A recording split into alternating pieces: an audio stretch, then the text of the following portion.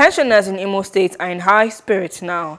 Their national union today praised Governor Hope Uzodinma for clearing a backlog of old pensions to the state. Godwin Ikechukwu led the executive to the government house and appealed to the governor to look into the issues, issue gratuities and humanization of pensions. The governor said he is committed to the welfare of pensioners and all looted funds and assets from politicians will be recovered.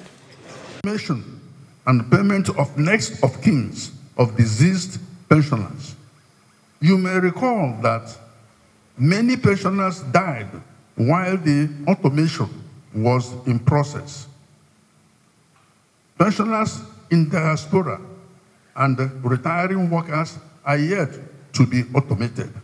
Four, payment of check of dues to Imo State NUP since February 2020 I am reliably informed that Your Excellency has given strong directive to pay the NUP their check-off dues.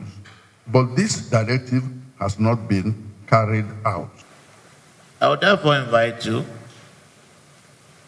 to join us, join government, to at least open your mouth and say what is bad is bad, and what is good is uh, good.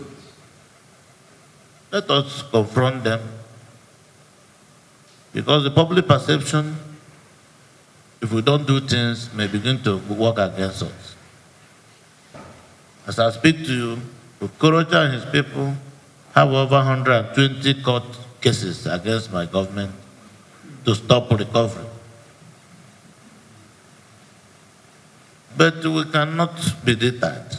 Hello. Hope you enjoyed the news. Please do subscribe to our YouTube channel and don't forget to hit the notification button so you get notified about fresh news updates.